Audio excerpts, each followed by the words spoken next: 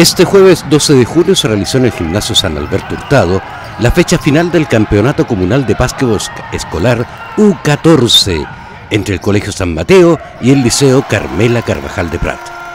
Los demorados se impusieron al Liceo Carmela Carvajal con un marcador de 34 a 22, asegurando su pase a la fase provincial. Por otra parte, las de Morado se lucieron con un partido emocionante y aguerrido ante el colegio William Bott el martes 11 de junio y alcanzando una victoria con un marcador de 48 a 33, garantizando también su participación en los Juegos Provinciales. Eh, esto es muy importante para mí, para mis compañeros, ya que aquí nos desarrollamos como jugadores, nos divertimos y entrenamos muy fuerte para poder jugar finales y partidos como este y divertirnos mucho. Eh, nosotros queremos, intentamos ganar todo lo que se pueda, para eso entrenamos, así que eso, ganar. Bueno, eh, ambos equipos ya están clasificados para la próxima fase provincial por ganarse el derecho propio por haber ganado el, escolar comunal acá en Osorno. Por lo tanto, ahora se vienen unos días de vacaciones, entre comillas, porque ellos van a tener que seguir trabajando, ¿no?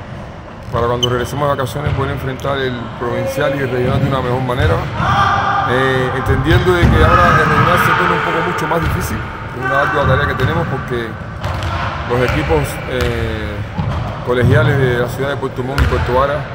incluso los de la isla, eh, siempre presentan buenos, buenos equipos, por lo tanto va a ser mucho más complicado ya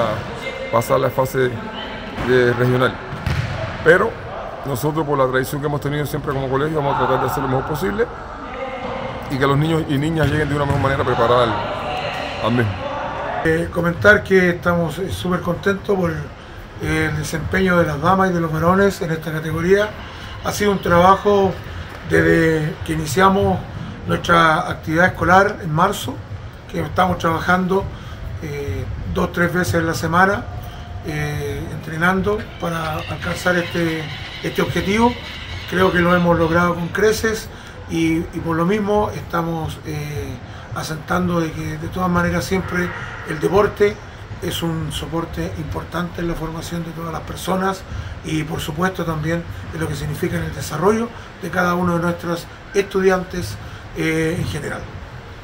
Para los jóvenes es muy importante contar con este tipo de actividades, ya que se desarrollan de mejor manera y comienzan a formar disciplina y valores deportivos.